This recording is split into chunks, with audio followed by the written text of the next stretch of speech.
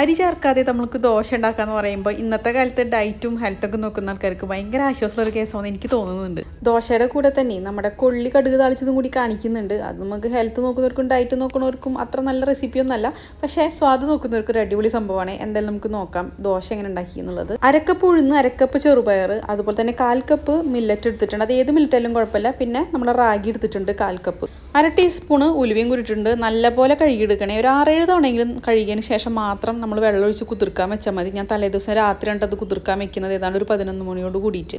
ഏതൊരു വീട്ടിൽ ഞാൻ പറഞ്ഞു കേട്ടിട്ടുണ്ട് രണ്ട് തരം മില്ലറ്റുകൾ ഒരുമിച്ച് ഉപയോഗിക്കരുന്നത് അപ്പോൾ അതിന്റെ ഗുണങ്ങൾ കിട്ടില്ല എന്ന്. അതിൽ സത്യാവസ്ഥ എത്രത്തോളം ഉണ്ടെന്ന് എനിക്കറിയില്ല. പക്ഷേ ഞാൻ എന്തായാലും ഇങ്ങനെ ചെയ്യാറുണ്ട്. രണ്ട് തരം മില്ലറ്റ് എടുക്കുന്നുണ്ട്. ഒന്ന് റാഗിയും ഒന്ന് ഏതെങ്കിലും കുഴപ്പമില്ല ഫോക്സ്റ്റൈലോ അല്ലെങ്കിൽ പേൾ മില്ലറ്റ് ഏതാണെങ്കിലും നമുക്ക് എടുക്കാം. എന്തായാലും ഈ പ്രൊപ്പോഷനിൽ എടുത്തിട്ട് ഇത് ഞാൻ എന്റെതായ രീതിയിൽ എടുക്കുന്നതാണ്. ഇത് വേറെ വീഡിയോ ഒന്നും കണ്ടിട്ട് ചെയ്യുന്നതല്ല. നമ്മൾ ആറ് മണിക്കൂർ കുതിർക്കുക രണ്ട് മണിക്കൂർ ഫ്രിഡ്ജിൽ വെച്ചിട്ട് വേണ്ടത് ചെയ്യണമെങ്കിൽ അത്രയും നല്ലത്. നല്ല തണവോട് കൂടി അരയ്ക്കുക എപ്പോഴും നല്ലത്. ബാച്ച് ബാച്ചായിട്ട് ഞാൻ അരച്ചെടുത്തിട്ടുണ്ട്. ഉപ്പ് ചേർത്തിട്ടാണ് അരച്ചിട്ടുള്ളത്. അരി ഇല്ലാത്തതുകൊണ്ട് തന്നെ പെട്ടെന്ന് തന്നെ അരച്ചെടുക്കാനും പറ്റി. എന്തായാലും അരി ഇല്ലാന്ന് വെച്ചിട്ട് യാതൊരു ടേസ്റ്റ് കുറവൊന്നും ഇല്ല കേട്ടോ ചട്നിയും ചമ്മന്തിയൊക്കെ കുട്ടി കഴിക്കുമ്പോൾ നല്ല സ്വാദോട് കൂടി തന്നെ നമുക്ക് ഈ ദോശ കഴിക്കാം. എന്തായാലും ബാച്ച് ബാച്ചായിട്ട് അരച്ചെടുത്തിട്ടുണ്ട്. കൈ വെച്ചിട്ട് തന്നെ കൈ നല്ലപോലെ കഴുകി വൃത്തിയാക്കിയതിന് ശേഷം നമുക്കിത് ഇതുപോലെ ഒന്ന് നല്ലപോലെ ഒന്ന് മിക്സ് ചെയ്തെടുക്കാം. എന്നിട്ട് അടച്ചു വയ്ക്കാം. മിനിമം എട്ട് മണിക്കൂറെങ്കിലും ഞാൻ പൊന്താൻ വെച്ചിട്ടുണ്ടായിരുന്നു. എട്ട് മണിക്കൂറിന് ശേഷം മാവ് പുളിച്ച് പൊന്തു വന്നപ്പോൾ ഇതുപോലെ ഇരുന്നിട്ട് കാണാൻ. നല്ല ഭംഗിയുണ്ടായിരുന്നു. വേറെ തന്നെ ഒരു കളറായിട്ട് മാറിയിട്ടുണ്ടായിരുന്നു. പിന്നെ ഞാൻ ഈ മാവ് വെച്ചിട്ട് ഇഡ്ഡലി ഉണ്ടാക്കി നോക്കിയിട്ടില്ല കേട്ടാ ഞാൻ റാഗിയും അരിയൊക്കെ കൂടി മിക്സ് ചെയ്തിട്ടുള്ള മാവ് ഉണ്ടാക്കിയതിനെല്ലാം മാത്രമേ ഇഡ്ഡലി ഉണ്ടാക്കി നോക്കിയിട്ടുള്ളൂ. ഇത് വെച്ചിട്ട് ഞാൻ എപ്പോഴും ദോശ തന്നെയാണ് ഉണ്ടാക്കാറ്. കുട്ടികൾക്ക് ഒരു നല്ലൊരു ഓപ്ഷൻ ആട്ടാ ചെറുപയറും അതുപോലെ തന്നെ മില്ലറ്റൊക്കെ ഉള്ള ഒരു ദോശയല്ലേ? എന്തായാലും ദോശമാവ് സെറ്റ സ്ഥിതിക്ക് നമുക്ക് ഓരോന്നോരോന്നായിട്ട് ചുട്ടെടുക്കാം. പിന്നെ ഈ വീഡിയോ കാണുന്നവരെ മില്ലറ്റിനെ കുറിച്ച് കൂടുതൽ അറിയാമെങ്കിൽ ഒന്ന് കമന്റ് ചെയ്യണേ. എന്നെപ്പോലെ അധികം അറിയില്ലാത്തവർക്കും അതുപോലെ തന്നെ ഇത് കാണുന്നവർക്കൊക്കെ കൂടുതൽ അറിവ് കിട്ടുമല്ലോ. ദോശയുടെ മുകളിലെ ഒരു ടീസ്പൂൺ നെയ്യൊക്കെ നമുക്ക് ഒഴിച്ച് നല്ലപോലെ ഒന്ന് മൊരിച്ചെടുക്കാം. എന്തായാലും വെറുതെ കഴിക്കുമ്പോൾ നമ്മൾ സാധാരണ ദോശയുടെ ടേസ്റ്റ് ഒന്നുമില്ല. പക്ഷേ ചട്നിയും ചമ്മന്തിയും അതുപോലെ തന്നെ ഉരുളക്കിഴങ്ങിന്റെ കറിയോ ഇതുപോലെ കൊള്ളി വെച്ചിട്ടുള്ള കടുക് തളിച്ചുള്ള കറിയോ വേറെ എന്തെങ്കിലും ഗ്രീൻ പീസിന്റെ കറിയൊക്കെ ആയാലും കൂട്ടി കഴിക്കാൻ നല്ല സ്വാദാണ്. എന്തായാലും ഞാൻ ഇന്ന് കൊള്ളി തളിച്ചെടുക്കേണ്ട ചെയ്യുന്നത്. കടുക് തളിച്ച് വളരെ സിമ്പിളായിട്ട് ഉണ്ടാക്കുന്ന സംഭവമാണ്.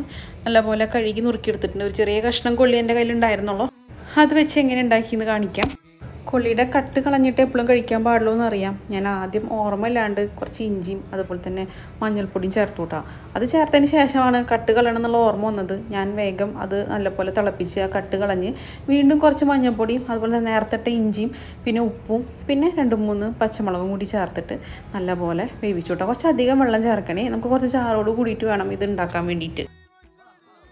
കൊള്ളി നല്ലപോലെ ഒന്ന് വെന്തുടഞ്ഞോട്ടെ ഏട്ടാ. നമ്മൾ പായസക്കൊള്ളിയൊക്കെ വെക്കില്ലേ? അതേ കണക്കിന് നല്ലപോലെ ഒന്ന് വേവിച്ചെടുക്കണം. കയ്യിൽ വെച്ചിട്ടേ നല്ലപോലെ ഒന്ന് ഉടച്ചു കൊടുത്താൽ കറിക്ക് നല്ല കൊഴുപ്പ് കിട്ടും.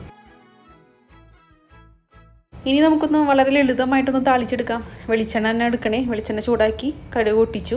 ഒരു പത്ത് പന്ത്രണ്ട് ചുവന്നുള്ളി ചതച്ചതാണ് കേട്ടോ. ഇനിയിപ്പോൾ ചുവന്നുള്ളി ഇല്ലാന്നുണ്ടെങ്കിൽ സവോളയിൽ മതി. ഒരു മീഡിയം സൈസുള്ള സവോള ചെറുതായിട്ട് പൊടിയായിട്ട് അരിഞ്ഞിട്ട് ഇതുപോലെ മൂപ്പിച്ചെടുക്കാം. ഉള്ളി ഒന്ന് മൂത്ത് വന്നു കഴിഞ്ഞാൽ രണ്ട് മൂന്ന് വറ്റൽമുളകും കൂടി ചേർക്കാം. കറിവേപ്പിലയും കൂടി ചേർത്ത് ഇളകിയിട്ട് ചെറുതീലിട്ടിട്ടൊന്ന് മൂപ്പിച്ചെടുക്കാം. മൂത്ത് കഴിഞ്ഞാലേ നമ്മൾ നേരത്തെ വേവിച്ച് ഉടച്ചു വെച്ചിട്ടുള്ള കൊള്ളിയും കൂടി ചേർത്ത് നല്ലപോലെ പോലെ ഇളക്കാം. പിന്നെ എരിവൊക്കെ നിങ്ങളുടെ ഇഷ്ടത്തിനനുസരിച്ച് കൂട്ടിയും കുറച്ചൊക്കെ ചേർക്കാം. ഞാൻ ആകെ ചെറിയൊരു മൂന്ന് പച്ചമുളക് മാത്രമേ ചേർത്തിട്ടുള്ളൂ. രാവിലെ കഴിക്കുന്നതല്ലേ. എന്തായാലും എല്ലാം കൂടി നല്ലപോലെ മിക്സ് ചെയ്താൽ നല്ല അടിപൊളി കൊള്ളിയാണെന്നുണ്ടെങ്കിലേ കയ്പൊന്നുമില്ല നല്ല സ്വാദുള്ള കൊള്ളിയാണെന്നുണ്ടെങ്കിൽ ഇതുപോലെ ഉണ്ടാക്കിക്കാൻ ഭയങ്കര സ്വാദാണ് കേട്ടോ എന്തായാലും നമ്മൾ ദോശയുടെ കൂടെ ഈ കൊള്ളി താളിച്ചതും അതുപോലെ തന്നെ നല്ല അടിപൊളി തട്ടുകെട്ട സ്റ്റൈൽ തേങ്ങാ ചമ്മന്തി കേട്ടാ കഴിച്ചത്. കൊള്ളി ആരോഗ്യത്തിന് കേട്ടുള്ള സംഭവം നല്ല അടിപൊളി സംഭവം തന്നെയാണ്. നമ്മൾ പണ്ടുള്ളവരൊക്കെ ഇതൊക്കെ ഒരുപാട് തന്നെയാണ് ജീവിച്ച് വളർന്നു വന്നിട്ടുള്ളത്.